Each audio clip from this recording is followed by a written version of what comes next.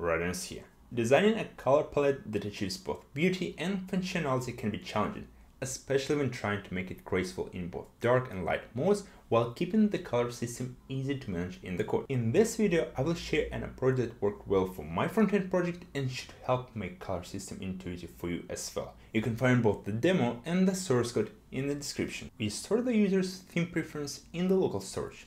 The available options are dark, light or system. By default, we set it to system unless the user decides to change it. If you're interested in learning about an optimal setup for storing values in the local storage, please refer to this video. Here's an example of the theme settings in my productivity app at increaser.org. To provide the components with colors, we have to wrap the root of the app with a theme provider component. It relies on the use media hook from React Use to detect if users prefers a dark theme. Then based on that value and the theme preference from local storage, we pick the theme object. Both the dark and light themes implement the default theme interface, which we declare in the styled.d.ts file.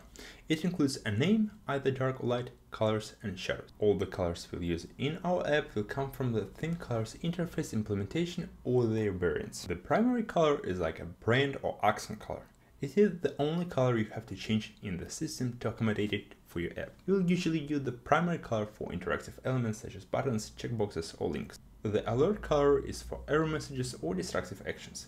Idle is an orange color that could be used for warnings and I use it in some visualizations like in this example highlighting an overdue. The success color is used for positive things like a check icon when the user completes a task or to highlight an increase in some metric. Here's an example of using it to show a habit streak. Foreground could be used for a sidebar or some panel, while the background color provides the most contrast. It is either almost black or white and serves as a page background or text color in a reversed element, like a button with a dark background and white text in light mode. We will use text, text supporting and text shy for text.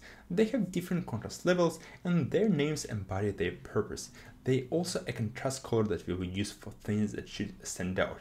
It will be absolute white in the dark mode and black in the light mode. Mist and Mist Extra are almost transparent colors that you would use a lot because we can put one element with the mist background on top of another and they will still have different colors due to the transparency.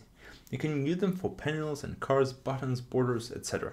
For interactive elements with the mist background, you would usually use mist extra as a hover color. The overlay color is an almost opaque version of the mist color that would be used to blur out the background when shown a model. The white and transparent colors are self-explanatory, and they will be the same in both themes. We will use the getLabelColor function to get a color for a label based on its index. Here's an example of a color input that relies on that function to provide this list of options. To learn more about color generation and the HSLA format, check out this video. Here's how the dark theme implements the theme colors interface. When using the HSLA format, there is logic for colors. Here foregrounds is the same as the background, but a bit lighter. The same goes for mist extra color, which is a bit more opaque than the mist color. And here the light theme implementation.